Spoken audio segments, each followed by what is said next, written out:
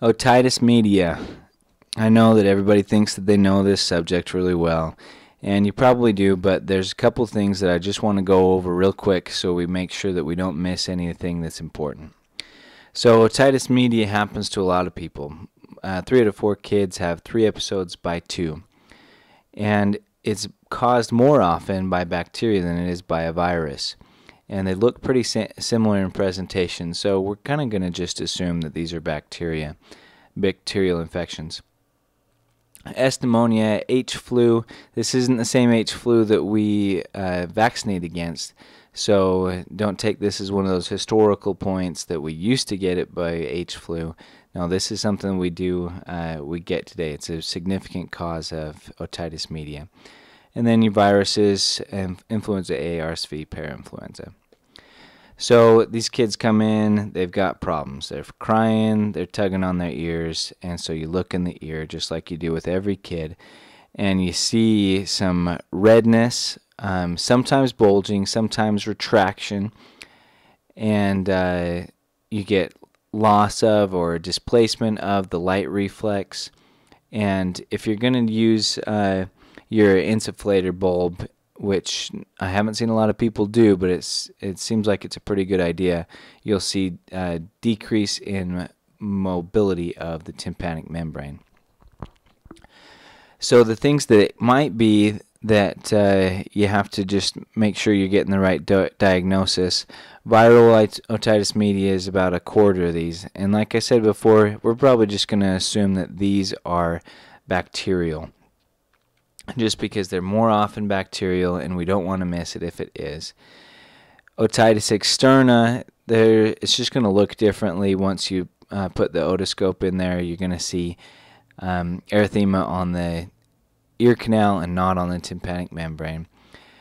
Otitis media with effusion is actually a whole different animal. This is not caused by infection, although it can uh, uh, precede infection and it can happen after an infection. But uh, it's not caused by infection, and therefore we don't have to treat it with antibiotics. Uh, a lot of these don't have any symptoms, but they might have some hearing loss when they come in, and uh, that's going to be uh, maybe a tip off. Um, chronic otitis media can happen um, and then teething is one that uh, I hadn't heard of until recently. It, these kids just come in, they pull on their ears similar to an ear infection, and you look in the ear and there's nothing wrong. And so that could be just because the uh, the same nerves that supply uh, the teeth are uh, supplying the ear as well, and so uh, you get some uh, pulling on the ears, and you don't have to treat it with antibiotics. So that brings us to treatment. These kids are in pain, so a lot of times we want to give them something for the pain, like ibuprofen or acetaminophen. For older kids, over two, you can give them benzocaine, uh, topical stuff for their ears, but you don't give it in under two because they can get methemoglobin, methemoglobinemia. And I don't know why that is. I should have looked up the uh, cause, but uh, please look it up and leave it in the comments below. You don't give them antihistamines. I don't know why anybody did give antihistamines, but that's something that they recommend not doing. The real treatment is amoxicillin. Give them high dose amoxicillin, 80 to 90 milligrams per kilogram per day, uh, times 10 days. Except over two, you can cut it down to five to seven days. If it's not going away, then you give them augmentin or amoxicillin, amoxicillin uh, clavulanic acid. And then um, if you have a penicillin allergy, you go to a macrolide. Now, some people will go to cephalosporins.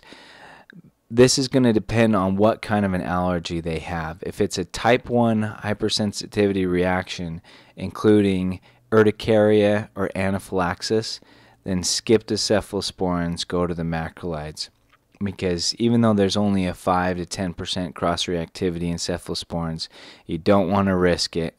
Uh, you don't want to send somebody into anaphylaxis. Now, the macrolides do have some problems with coverage, so you're just going to have to play it by ear um, and uh, maybe switch antibiotics. Um, tubes is a big question. When do you put tubes in? Well, that's going to be up to the patient and you, but uh, the minimum amount of infections that they recommend is three infections in six months or four in 12 months before you even consider putting tubes in. So, uh, if you um, if you have somebody who's uh, recommending giving uh, tubes after just a couple infections in a couple years, it's probably not a good idea. So the complications we're trying to avoid by treating this, uh, tympanic membrane perforation can happen, mastoiditis, meningitis. This is supposed to say cholesteatoma, chronic otitis media, hearing loss is a possibility, especially if you're getting chronic uh, otitis media.